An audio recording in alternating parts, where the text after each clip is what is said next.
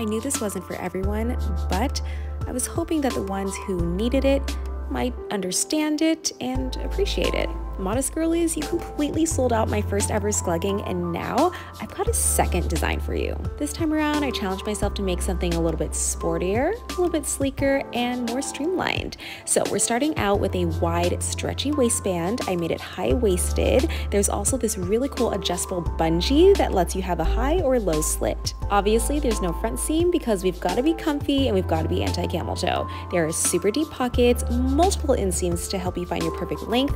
The skirt is stretchy. You guys, this is the bungee sklegging. I'm really happy with how this turned out because I don't think it's just for modest girlies. I think it's fashionable and super cute and for anyone who wants to make a statement while you're being active and pretty much doing anything. And bonus, the skirt not only makes this squat proof and creep proof, you also will totally feel like a pink Power Ranger.